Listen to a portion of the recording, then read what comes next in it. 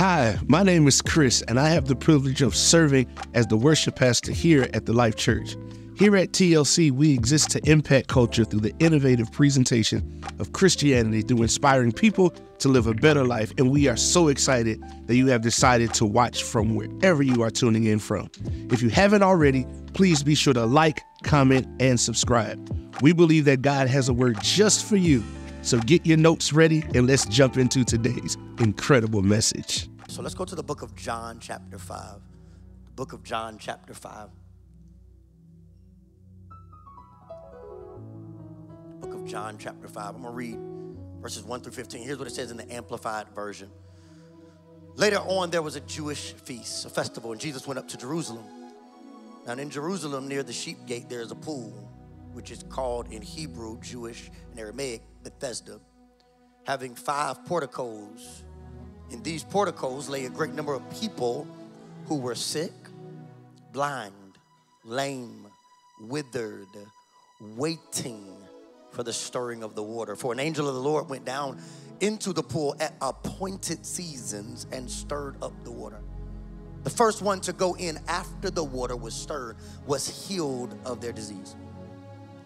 There was a certain man there who had been ill for 38 years. When Jesus noticed him lying there helpless, knowing that he had been in that condition for a long time, he said to him, Do you want to get well?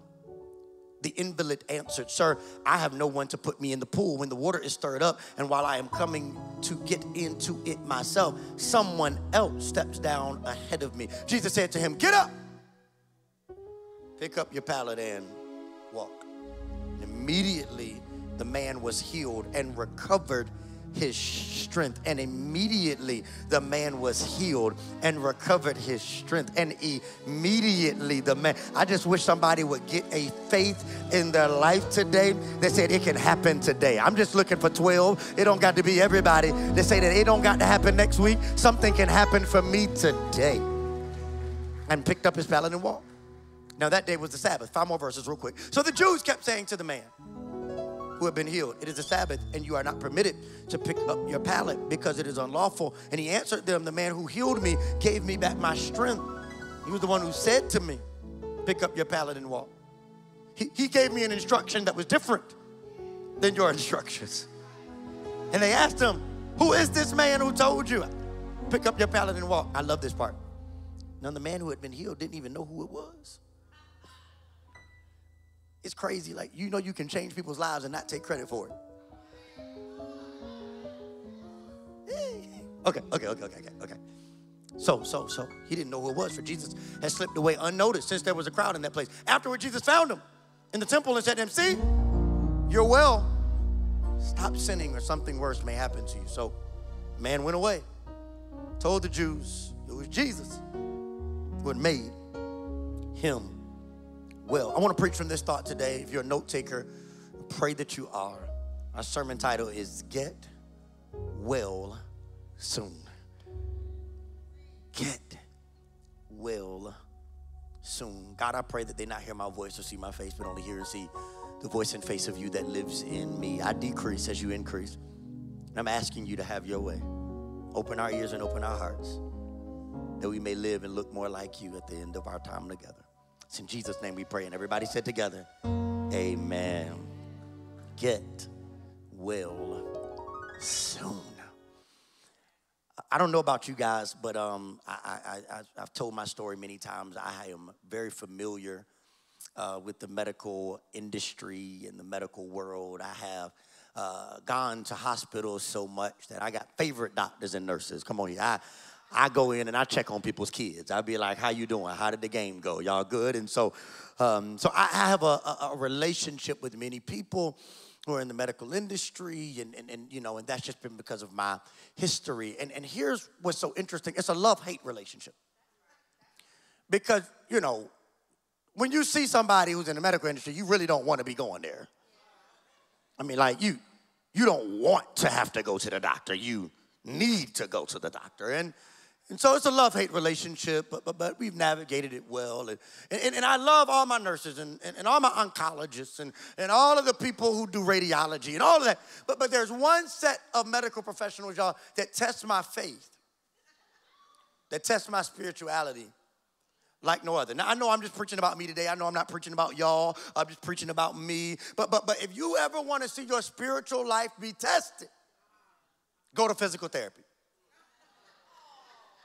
No, no, no, I'm not, I'm not, I'm not saying, I, know, I love my physical therapist. I love my physical therapist. I, I love my physical therapist. I'm just saying, if you've ever been to physical therapy, anybody ever been to physical therapy? it, it, it is, it is a, uh, it is a nuanced experience because watch it, you're getting well while feeling bad. If you want to see a tear come out the corner of a strong man's eye, take him to physical therapy. Physical therapy push you, it, it tests you. And, and, and, and in my experience, and in many who've been through therapy's experience, physical therapy, you'll find this. You tend to reach a point where you are proud of what you can do now. I, I was at the gym the other day and somebody who knew I had had surgery last year asked me, How are you doing? You look well. And I said, Yeah, man, it's great. I, I, I used to couldn't get on the stationary bike. Now I can. I, I used to couldn't get on rides at the, so the theme park with my kids. Now and I can. I, I used to couldn't do this and I used to couldn't do that. I love where I'm at now. But here's what I've come to find as you go through any medical journey that many of us measure our health by our preferences but they measure our health by our possibilities. That, that, that we can sometimes be walking with somebody and say, Man, look at what I can do now. This is my preference. As long as I can do this, I'm good. And yet, while we measure our health by our preferences, they measure our health by our possibilities. They say, I, I, I love what you can do, but let me tell you what you could do. I, I, I love how far you've come, but let me tell you how far you could go. I, I love that you can stand up, but I, I'm telling you now, I'm gonna show you how you can walk. I love that you're walking, but let me tell you, if you keep going, you maybe can run. I, love that you're running, but can I tell you something? That it could be jumping in your future, that there is more than your preference, but there are some possibilities. And as you grow in this life with Christ, here's what I've come to find. You may find that there are moments where you get satisfied with how far you come.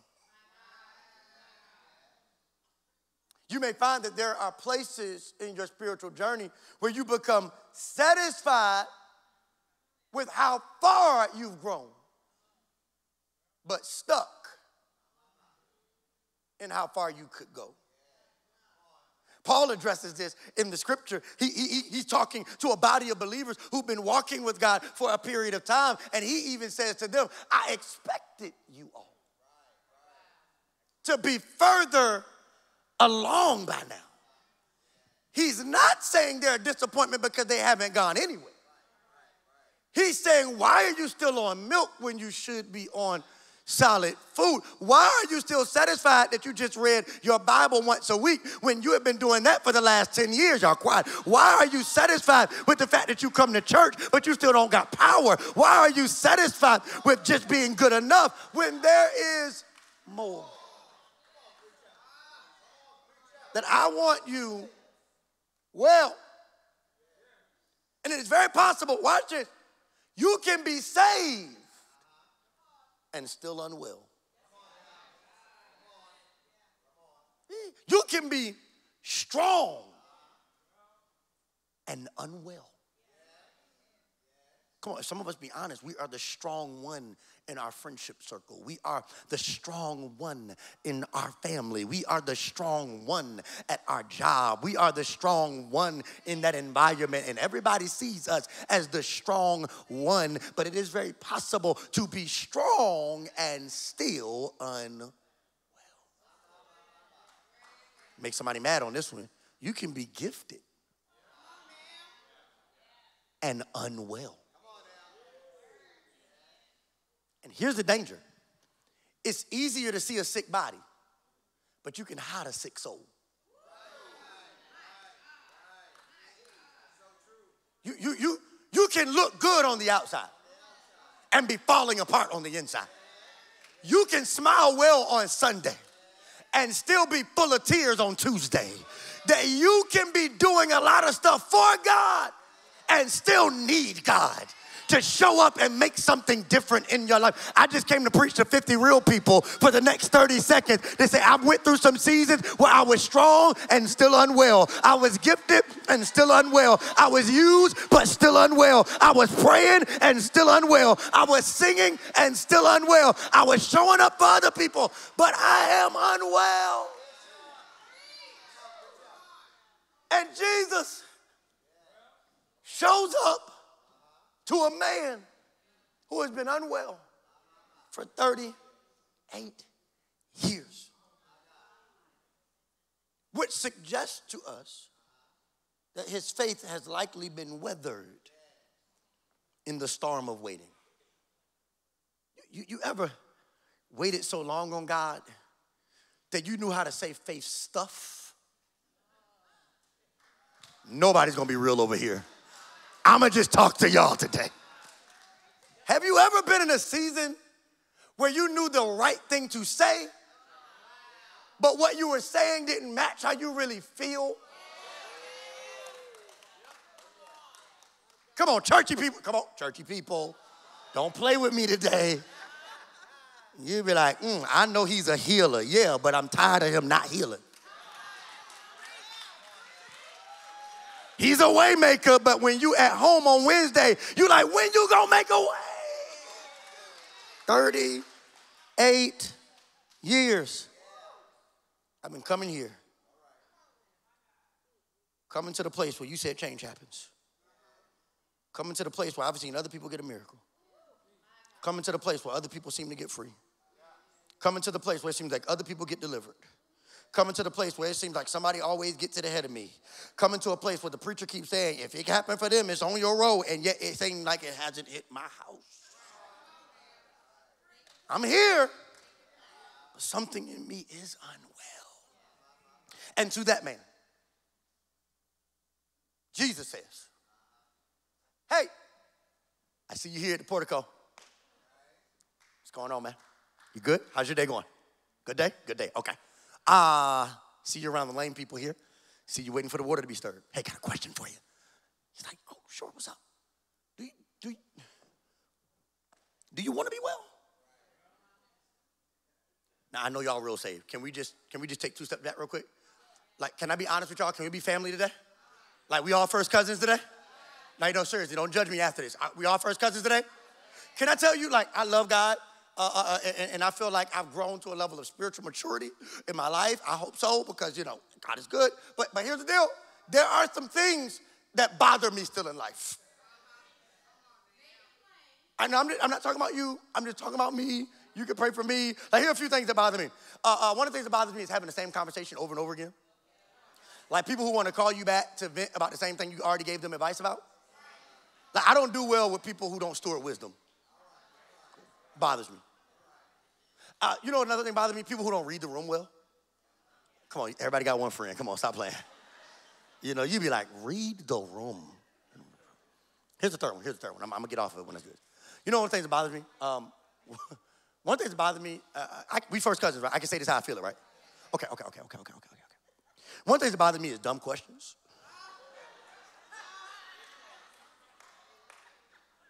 Now, I know y'all can't say this, okay? So I'm gonna say it for you. Like when you had a whole meeting and you sent out meeting notes and you sent the email, and then somebody comes and asks the question that you already gave answers to. I'm just preaching to a few of y'all, not everybody. And then you got to respond in a professional, mad way per my email. per last meeting. I know you heard me say this before. So I know y'all love Jesus. But if we can all just be human for a moment. The man has been ill for 38 years. The man is in a place, eh, if I'm in an emergency room, don't come up to me and ask me, hey, how you doing? So happy you're here tonight. The act doesn't come on to nine, but between now and then, do you want to be well? Because clearly, that's what I'm here for. Watch this, watch this. And here's what I've come to find Jesus never asked us questions for his own benefit. He asked so that we can get in the business of knowing how to think, not just how to receive. Watch this. Because it is very easy for us to build a theology of faith that knows how to receive from God, but not how to still think about God in the right way. And in this tension, something is revealed about Him. Look at what happens. He responds to Jesus by saying, I, I, I would, but, somebody say, but. You don't understand like nobody's here to help me. Like they help other people and people move ahead of me and people and you don't understand that they knew them and they had a network and they grew up in that neighborhood. And he begins telling jesus all the reasons why he can't be. Well here's why. Because blame is the easiest way to breed a lack of wellness can I prove it to you in scripture? I don't want you to think it's just me. Look at what it says, verse 7. He says, I have no one to put me in the pool. And when the water is stirred, while I'm coming to get myself in, someone steps in ahead of me. Somebody say, blame. Okay. But it doesn't start here in the New Testament. Let's go to Genesis chapter 3. Really quick, a few verses. Genesis chapter 3. But the Lord God called the man. This is right after Adam and Eve have eaten from the fruit from the forbidden tree. What happens? Look at what it says. It says, Where are you? He answered, I heard you in the garden and I was afraid, so was naked, so I hid. He said, Who told you you were naked? Have you eaten from the tree I commanded you not to eat from? And the man said, The woman. Hey, it was her. She gave me that fruit and I ate it. Verse 13. Then he said, Okay, let me start. So Eve, Eve, what happened? She said, oh, oh. The serpent Everybody ate the fruit, but it was their fault. And it was his fault. And it was her fault. Book of Exodus. Let's see it. Let's see it. Look at book of Exodus, chapter 32, verse 21 through 24. They've just come out of captivity. They are in the wilderness for the first time. They're waiting on Moses to come off of the mountain. Look at what happens. It says, finally, he turned to Aaron and demanded, Why did these people do to you and make you do such terrible sin upon them? Now, here's what's happened. In the time when Moses had went away to meet with God, the people were tired of waiting. And so while being tired of waiting, they go to Aaron, the second in command, and they're like, hey, um, hey, do us a favor. Make us something to worship. Make us an idol and so they all bring together their jewelry. They forge a golden calf. They create this idol for them to worship. And then Moses comes down and is like, What in the world are y'all doing? This has upset God. So, verse 22, he says to him, This is what Aaron says back to him Don't get so upset. You yourself know how these people, hey, dog, you know how these people get. These people did it. I love what it says. It says, They said to me, Make us gods who will lead us. We don't know what happened to this fellow Moses who brought us here from the land of Egypt. So I told them, Whoever has gold jewelry, take it off. And when they bought it to me, I simply, I love the language. I, look, all I did was throw it in the fire. It ain't like I bought it, I didn't go get it, I didn't. I just threw it in the fire and look what happened. Somebody say blame. Blame, blame, blame, blame, blame. Last one, last one. I just want you to see the theme. 1 Samuel 15, 19 through 21. Look at what it says. Uh, uh, Samuel has been given an instruction to completely destroy the Amalekites, but, but, but he decides to keep some of the stuff he preferred. Some of the stuff he liked. Says, Why did you not obey the voice of the Lord, but instead swooped down on with the shouts of victory and did evil in the sight of the Lord? Saul said to Samuel, I have obeyed the voice of the Lord. And I've gone on in the mission on which he sent me. And I, he said, I did all these things. Look at verse 21. But the people, th- th- these troops that you gave me, they bought me in this stuff. I didn't go get it, they bought it. And here's what I came to let you know today the enemy is banking on you building your life on blame. Because blame is a belief killer. Hear me. It gives power to people that can always be superseded by God. And I need a few of us to make up in our mind today that we are tired of pointing the finger and we're making up in our lives, our life will point to God when we say, I'm no longer gonna blame it on what they did. I'm no longer gonna blame it on what they said. I'm no longer gonna blame it on what they felt. I'm no longer gonna blame it on their opinion, but I'm gonna make up in my mind everything about my life will point to God, and I'm not gonna use them as an excuse for my lack of obedience. I'm not gonna use them as an excuse for my lack of love. I'm not gonna use them as an excuse for me building walls and shutting people out. I'm going to make up in my mind that my life will not be built on blame, but we be built on the power of God. Jesus is asking the question of us that he asked of them Do you want to be well? I, I know there's others that go ahead of you, but do you want to be well? I know that there's some others who had a head start that you didn't have. But that's not what I'm asking you right now. What I'm asking you is do you Do you want to be? Well, because some of us, be honest, we've enjoyed the attention that comes from being the victim.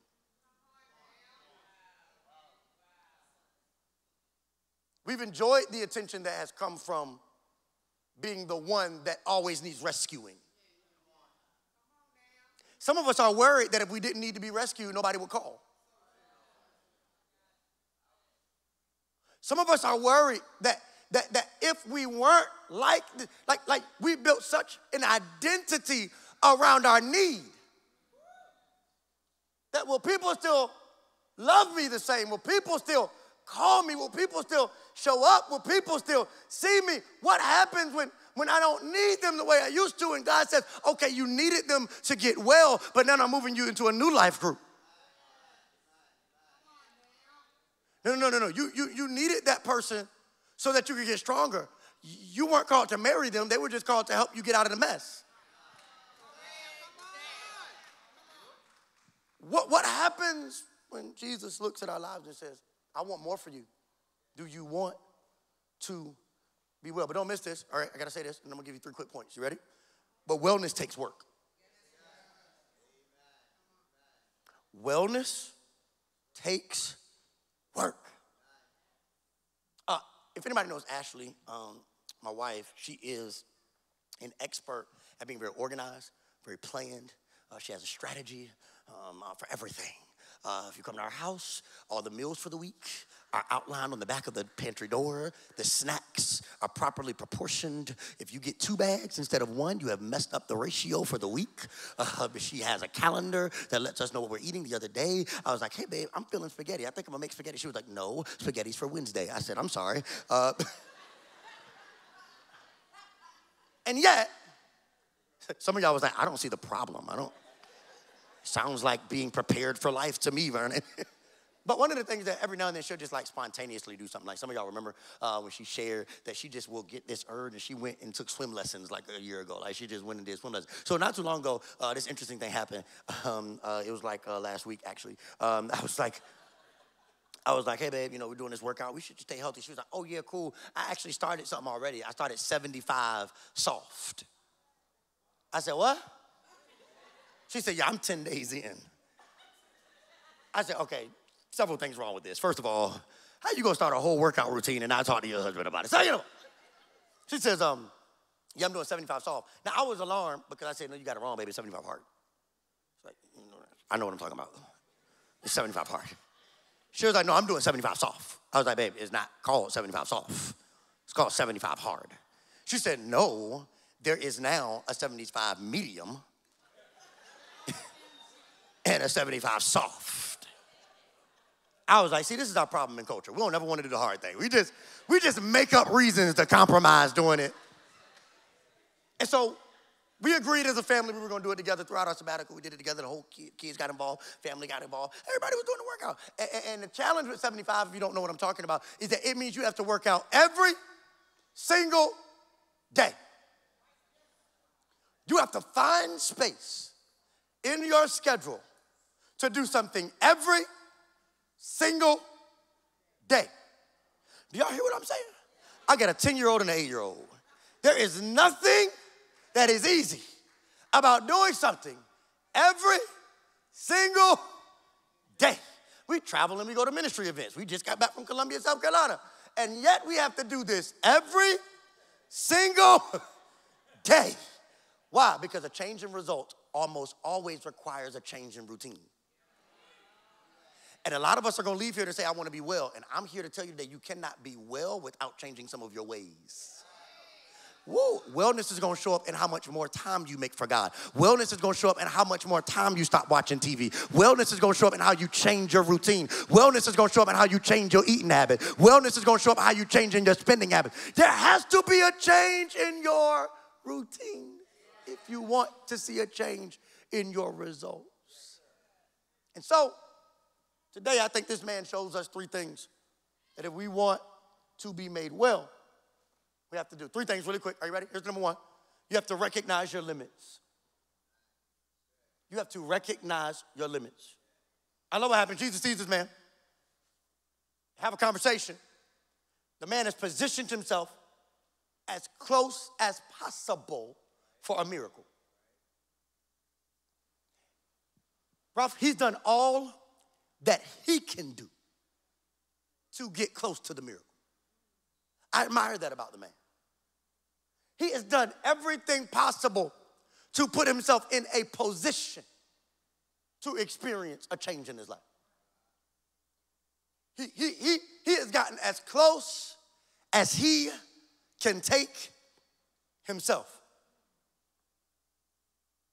And then the healer shows up, Jehovah Rapha. And when he begins a conversation with this man, I love this. His spirituality doesn't show up.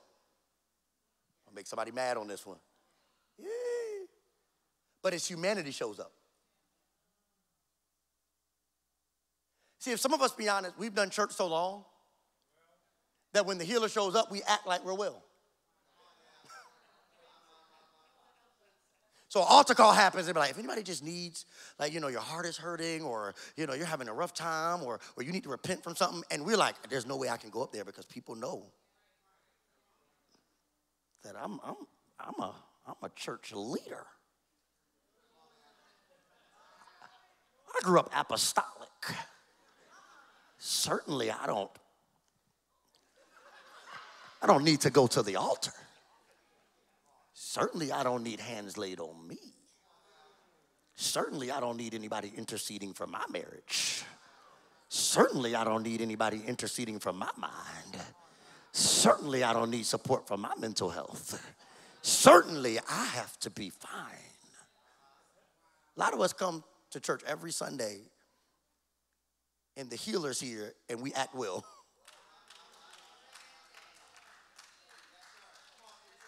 Some of us, our prayer lives are consumed with, I'm well. But this man, humanity shows up. And what I love is his humanity does not disqualify him from his healing. Here's what I've come to find because most miracles start with self awareness. It's really important.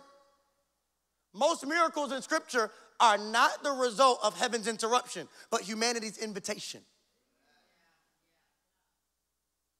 What if the Lord is waiting on your humanity for Him to actually change your situation?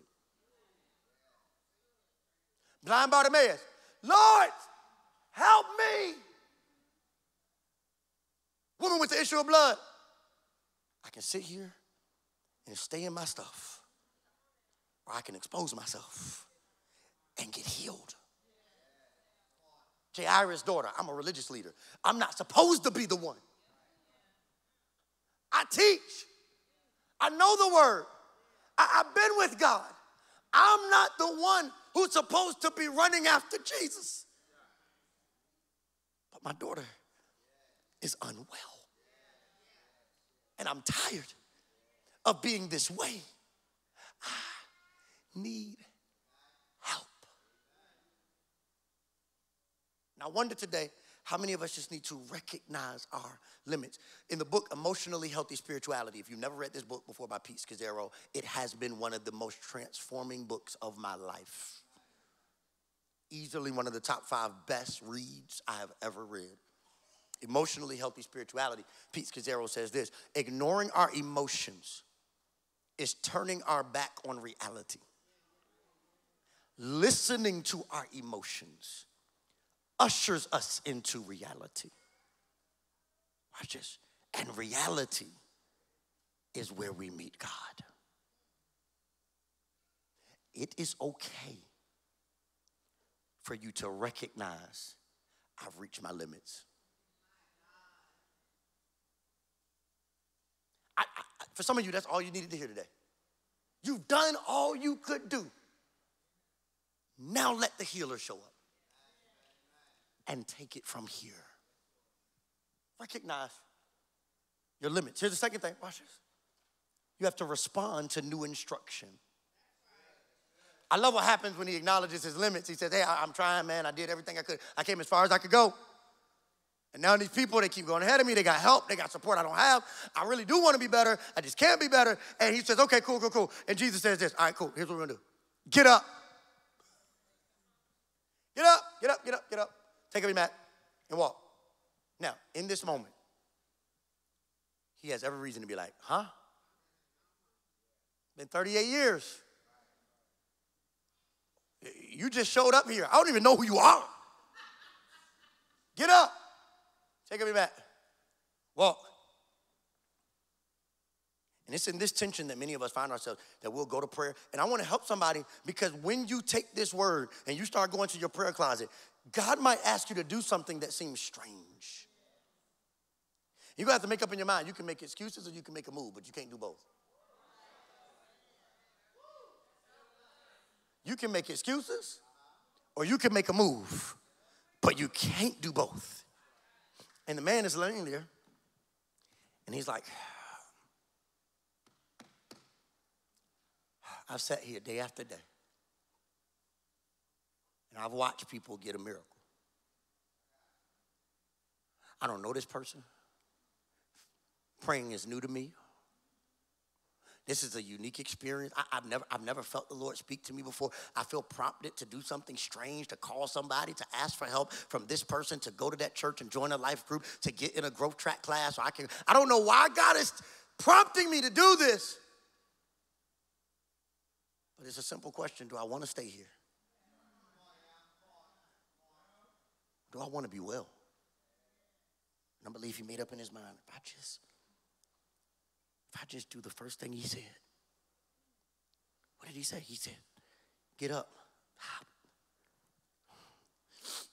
But God, I, what if I look stupid? But God, what if I, what if I fall in front of people? I mean, 38 years, what if, what if, what if his legs were atrophied and he, he was like, what if, what if they laugh at me? Jesus, Jesus said, get up. So, okay. And the Bible says, immediately he was strengthened. Now, here's what I believe I believe that the scripture is very consistent about this that very often healing happens while people are, are moving with God. So the lepers were healed as they walked. So I believe as he began to get up, strength began. As he decided to say, I'm going to join a group. I'm going, I don't, I don't know all the right songs and I don't know no hymns. And I ain't grown up in church or I have grown up in church, but I've been so busy acting strong that I have let some things stay unwell. But, but, if I can just do the first thing he said. And as he began to get up, he started, he would have never known he was strong if he never tried to get up. Some of you are saying, God, do it. Make me, make me better, make me stronger, make me wiser. He said, You'll never know it until you get up. You'll never know it until you come out of that. You'll never know it until you stop calling them. You'll never know it until you break out of that relationship. You'll never know it until you step out on faith. You'll never know it until you move into that business. You'll never know how strong you really are until you get up. Yes, every reason not to listen to Jesus. Jesus is a new voice. Some of you, your temptation is gonna be, but I don't even, I don't even know Jesus like that. I didn't respond. For some of us, it's like, but, but these instructions are different than what the people gave me. I know. I know, but but but this guy said it was time to do a do thing. And when he responds to Jesus' instructions, he finds his way back to strength. I just, I just want to invite you to respond. And then here's the last thing. You ready for this? You ready for this? And then as you respond, oh, it's gonna make some of y'all mad. You ready? You have to release your old cycle. You know what's crazy? Do you want to be well? Is the start of discipleship. Do you want to stay well? Is the heart of discipleship. Okay, Barney, you, you made that up in the text. You just, you preachers just be saying stuff. No, no, no, no, no. Look at what the text says. He's already been made well. He's walking, he's talking to people, he's carrying his mat, he's better. And then John 5 and 14. Afterward, Jesus found him in the temple. He said to him, say, see, you are well. You are better. You are stronger. You are wiser. You're doing well. But stop sinning. That was gonna be the quiet part, I knew. Or what if something worse happens? And it's important to understand how they would have understood the word sin in this day and age. We talked about this in Bible study. I'm gonna say this quickly that the word sin comes from the word kata. The word kata means failure to meet the goal. And so we see sin in scripture is not just a testament of moral clauses. It's saying, where in your life are you failing to meet the goal that God has set before you? I'm not preaching to y'all, I'm preaching to us. In all of our lives, in every season, God can be moving us to say, hey, it's time to change the cycle that you're better, but don't repeat the pattern. Watch this. Seeing our sins is one of the best ways to strengthen our spiritual maturity. And most of us only want to see our strength, we don't want to see our sins. If your prayer life never reveals sin, I worry that it's actually performance. If your prayer life never reveals it, if in your prayer time with God, He never shows you that you missed the mark, He never shows you that you could have been a better husband, He never shows you could have been a better wife, He never shows you you could have been a better parent, He never shows you you could have been a better friend, He never shows you that your work ethic is off, and how dare you ask me for a promotion when you show up late. He, he never, He never shows you that you want more from me, but you don't read your word that you want more from me, but you don't worship. You, you, he never shows you anyway. So stop sinning. Because what I don't want for you is to be in this cycle. This cycle of even coming to church and saying, Why doesn't this work? Could it be? I want you to see something. Throw that, throw that picture up on the screen. I'm closing here.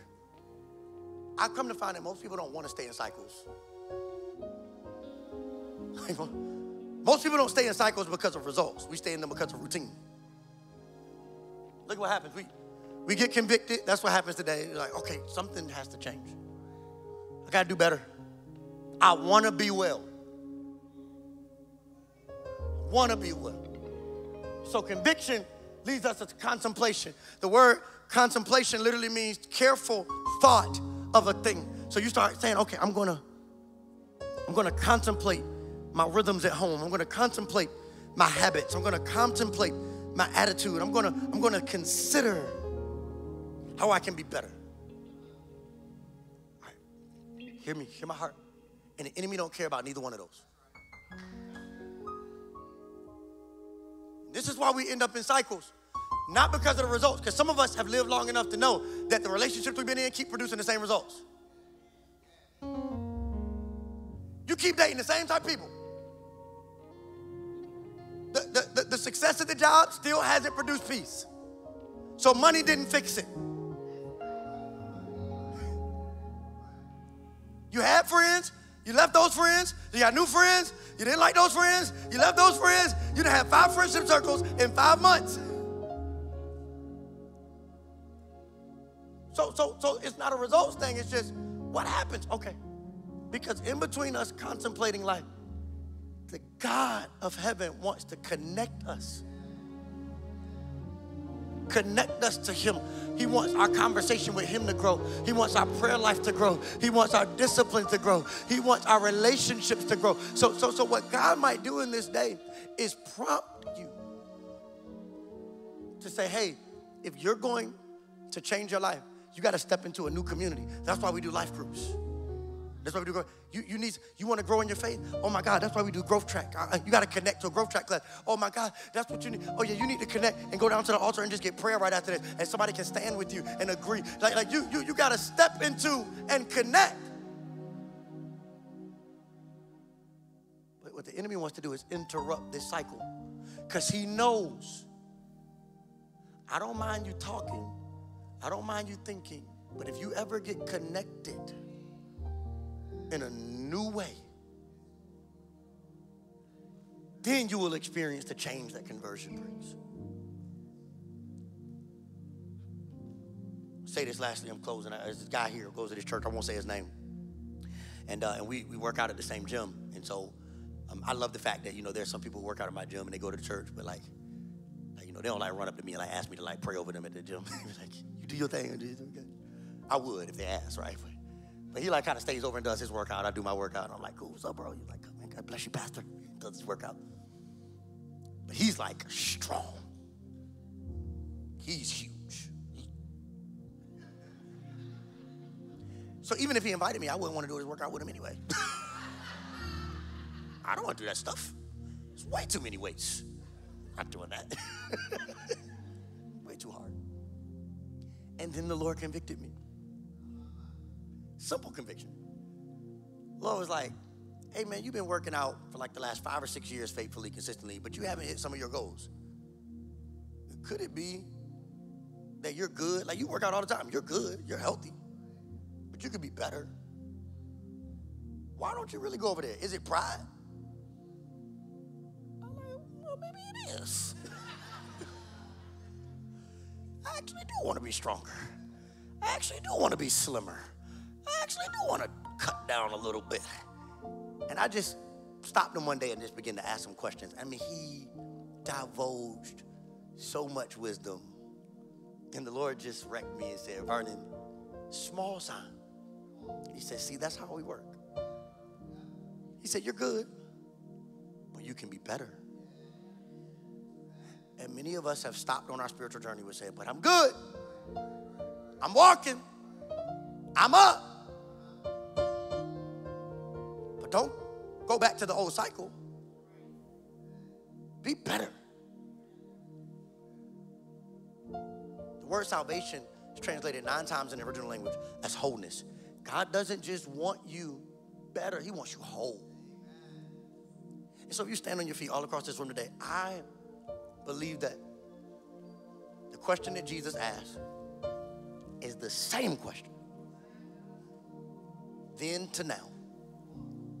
Do you want to be well?